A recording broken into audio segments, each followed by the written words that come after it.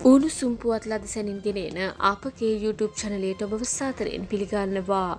මෙන්න දැන් ලැබුණු තවත් උණුසුම් පුවතාක්. මේ කැප් එක මං ආගී කරනවා රනිල් පවසයි. ජනතාවගේ දුප්පත්කම නැති කිරීම සඳහා තමන් සහන ලබා නොතන බවත් සහන ලබා දෙන්නේ ජනතාවගේ ආදායම් වැඩි කිරීම සඳහා පමණක් බවත් ස්වාධීන ජනාධිපති ධූර අපේක්ෂක රනිල් වික්‍රමසිංහ මහතා පවසනවා.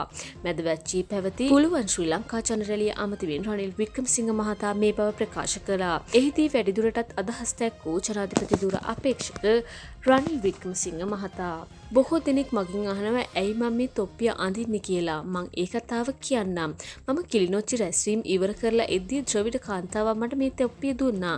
ඒක දීලා ඔබතුමා අපිට කෑම දුන්න කිව්වා. පොහොර දුන්න කිව්වා. බෙහෙත් දුන්න කිව්වා. අපිව ජීවත් කළා කිව්වා. ඒ නිසා මට මේක බාර දුන්නා.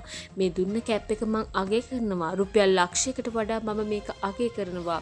මේ අතර බත්තර මුල්ල දියත උයන එලිමහන් රංගපීටි පෙරේදා පැවති ප්‍රසංගයකටද ස්වාධීන ජනාධිපති දුර අපේක්ෂක රනිල් වික්‍රමසිංහ මහතා එක්විය.